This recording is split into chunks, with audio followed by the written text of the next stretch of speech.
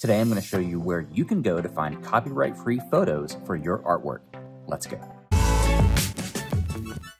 Whenever drawing real things, it's best to draw from real life, but sometimes you don't have that object in front of you. The next best thing is a picture. We're going to start by typing in Creative Commons and doing a simple Google search. This should be your first result, and I'm going to click CC Search.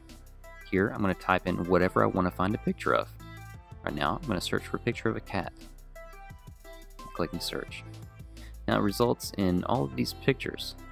What I'm going to do is I'm going to also click to modify or adapt because as, an artist, I will want to modify and adapt. And I'm also going to click this box here. And what that means is that this, these works are all public domain, which means we will have the rights to use any of these pictures without any worry about who do these belong to. I like this picture.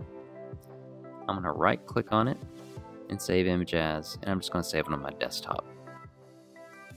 Remember to change the name so it's easier to find.